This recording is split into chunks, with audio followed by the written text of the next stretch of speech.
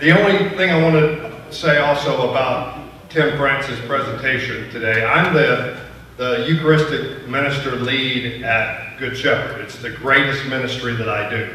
I'm honored to be able to train uh, ex- extraordinary ministers of Holy Communion to do their thing. It's the, it's, it's the most wonderful ministry I got. And, and I show some of that stuff that Tim was showing to my, to the people when we train, just to, to, to give them the enormity of the Eucharist. This is the difference between us and everyone else.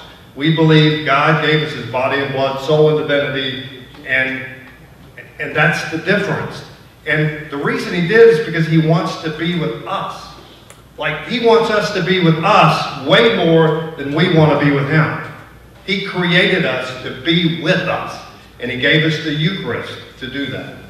So come out of this thing on fire. Go to weekly adoration if you can. Go to as many daily masses as you can, and, and just being with the Eucharist. That's what it's all about. And that's this fired me up when I when Tim was coming because I knew what he was going to say. But I think we just need to understand that is the difference, and that's what's going to get us out of this this mess that we're in as the, as the church. Okay, the Eucharist is going to give us that that power that we need to get out of the out of the uh, the mess that we're in. So that's that's all I'm going to say. But that, I just wanted to say that.